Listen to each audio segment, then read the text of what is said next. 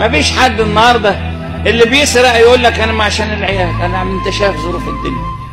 اللي مبطل صلاة ما أنا مش فاضي الشغلانه صعبه عليا اللي قاعد في المستشفى عيان من إيه؟ يقول من الضغط تعبت ضغط عصبي. الناس ماشية تايهة. ليه؟ مش مفوض الأمر لله. ما حدش سايبها على الله. لا ما حدش إلا من رحم الله. كله يقول لك إيه؟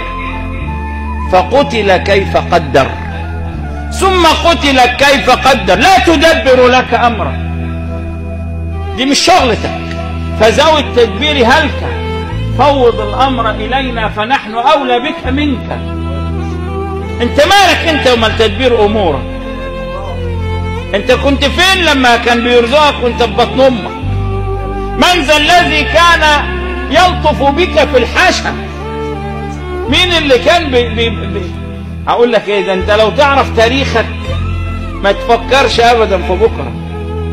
إن ربا كفاك بالأمس ما كان حتما سيكفيك غدا ما يكون. ما تشيلش الهم فحملان الهموم جنون إن ربا كفاك بالأمس ما كان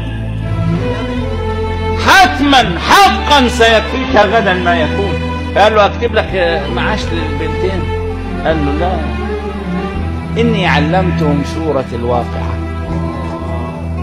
آه ده درس مهم جدا في الحب.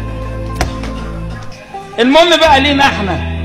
هو سيدنا عبد الله بن مسعود واثق قوي كده إن شركة التأمين بتاع سورة الواقعة اللي يقراها ما يفتكرش أنا إيه السر. رحت أنا جايب سورة الواقعة من المصحف. قعدت أقرأ عن سورة الواقعة أكيد فيها كلام. يا رزاق يا يا كريم يا حليم يا عظيم ما فيش حاجة. ما لقيتش حاجة بتتكلم عن الرزق خالص. مش ده السؤال؟ صلي بقى على النبي. تعال أوريك بقى الفلوس فين. أوريك الفلوس في سورة الواقعة فين. اقرأ معايا قول الله عز وجل. أفرأيتم ما تمنون؟ شايف العيال دي؟ ها؟ أأنتم تخلقونه أم نحن ليه؟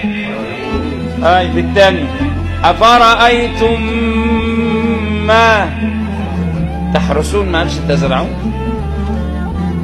أنت ما تقدرش تزرع. هي بقى السر في الحتة دي. إن ما قالش أفرأيتم ما تزرعون؟ لا أنت مش مزارع أنت حارس. أنت عليك ما سيدنا الشيخ علوك تجيب الجرار الزراعي وتحرث الأرض